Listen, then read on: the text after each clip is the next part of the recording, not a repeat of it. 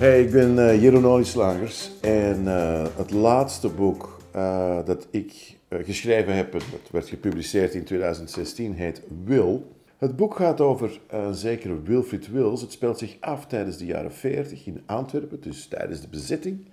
En die Wilfried Wils vertelt het verhaal, is ook hoofdpersonage. En hij is een hulpagent bij de Antwerpse politie. Wat betekent dat hij meewerkt aan de razzia's op Joodse mensen. Tegelijkertijd is hij ook, uh, ja, heeft hij ook vrienden bij het verzet. En hij laveert voortdurend tussen die, twee, tussen die twee polen. En hij probeert te overleven op zoveel verschillende manieren. En ik noem hem uh, in dit boek een tweezak, of hij noemt zichzelf een tweezak. Wat betekent dat hij, uh, laten we zeggen, om het heel beleefd te zeggen, moreel ambigu is. Het is dus een boek over u en over mij.